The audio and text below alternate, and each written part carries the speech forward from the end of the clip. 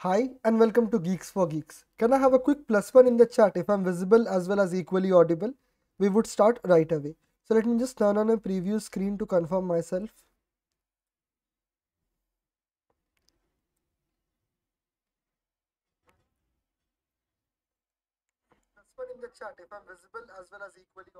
Okay, I'm fairly visible as well as equally audible. Still, I was refresh my screen so that I start receiving the text. If you feel any doubts in the stream or in my explanation, please let me know. Okay.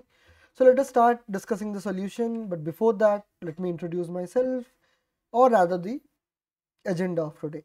Today we would be discussing yesterday's problem of the day and yesterday's problem was compute before matrix and this problem appeared in Dunzo and this problem is a matrix problem and this is also a prefix sum related problem. So this has a quite good success percentage that is 89% and this is a medium level problem. But if you are already familiar with the prefix sum technique over matrix as well as over arrays, then it would be an easy level problem for you. Okay, so we are given a 2D matrix for a given 2D matrix before. The corresponding x and y of the out after matrix is calculated as, okay. Suppose we have 1, we have 2, we have 3, we have 4 okay?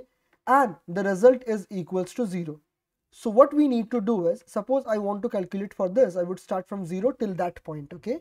So till that point the value would be 1 now if I go till here so till starting till this point. So that would be 1 plus 2 that would be 3 now for this this value would be computed okay? So the value of this is 4 now for this all of these value would get added. That is 5 plus 1 that is 6 6 plus 4 is equals to 10 okay? So basically if you observe this this is nothing but the prefix sum. Okay? Prefix sum of a particular matrix. Now if we move forward what we need to do is it's a little bit I can say that we need to suppose we go from front to back but this time we need to go from back to front why? Because the after matrix is given and we need to compute the matrix before. Okay. So what we need to do is instead of doing this to this, we need to go from this to this. Okay. This is what you need to do. Now, if we move forward and discuss the sample test case that is 1, 3, 6, 3, 7, 11. So for the first one, no additional values would come. This would be so this would have the values of this part only. Okay, done. So, so let me explain you. Suppose this is a matrix. Okay, suppose this is a matrix. I won't be drawing the rows and columns, just the boundary itself. Now let me explain you. Suppose the first value, the first value would have the values till this point. Okay, this till this point this would have the values of these two. Now if we talk about only this value suppose this suppose this value. This value would be the whole array. Next if we move forward this would be like this. Then for this time it would compute of this value and this value only this value. So basically till the sub array part sub array part okay? So like this okay? Let me tell you. Like this okay sorry like this like this like this okay? I hope am i clear? Still if you're watching the stream kindly send me a plus one in the chat okay? Now this part would be the same. This would be one only. Then we come to this part. This part is having the sum of 1 as well as this part. So 3 is the sum. Suppose this is just 3 is equals to 3 is equals to this value plus the value at this value. We already know this value. That is 1 and we need to know this value so let us assign it x. This is nothing but 1 plus x. Okay? 3 minus 1 is equals to x. X is equals to 2 that is why the value on this side is 2 okay? Then we move forward. So this value 6 so we already know till that point. Before that point this is 3 so 3 plus x is equals to 6 now this is equals to x. So 6 is so x is equal to 6 minus 3 is equals to 3 that is why the value is 3 itself okay Fair enough. Let us move forward. Now we have again a 3. 3 is the sum of 1 and this value. 3 minus 1 is equals to 2. Now again we have this sum 7. So 7 is equals to 2 plus 2. Okay. The value till this point. Okay. And the value till this point. This is 6. But as we can see, we have counted this value again. Okay. Just like we did. So we would subtract this value. That is 5 and from 7 to 5 we get 2. Okay. This is how we would do it. Now if we come to this value also, we have computed uh, this value at the end. Okay. I hope I'm clear with this. So what would be the formula?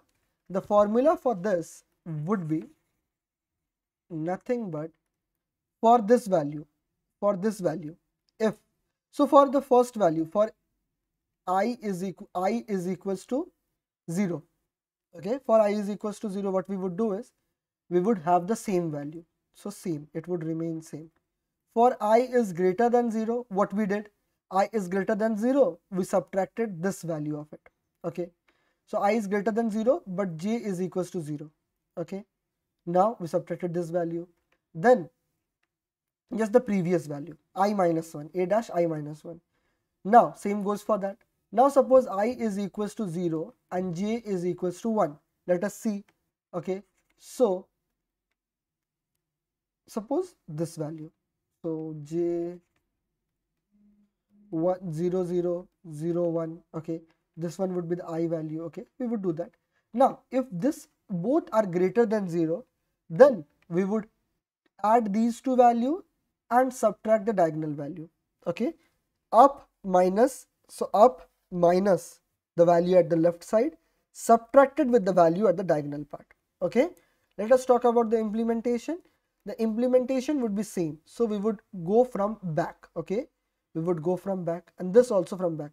So if i is equals to greater than 0 what we would do is we would have i minus 1 the current value plus i minus 1 we are just editing the after matrix that is given only now for j if j is equals to 0 we are again subtracting j minus 1 now if both are greater than 0 okay so we are just adding this value okay why because we have subtracted two times now it has got subtracted two times so we would add the remaining value now we are just returning the array that is given. So we are this is an in place algorithm where we edit the array that is given to us only. We are not, not taking help of any auxiliary array.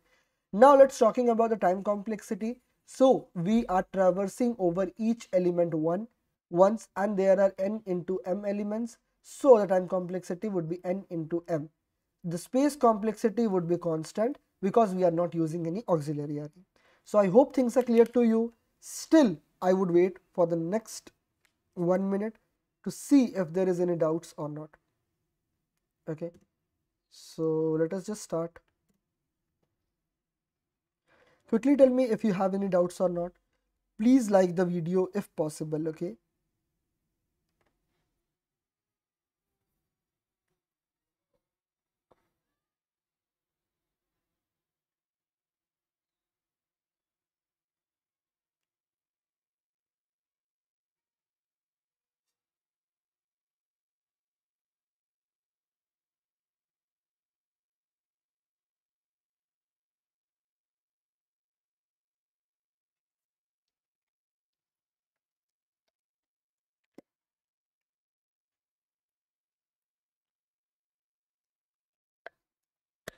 That's it for today.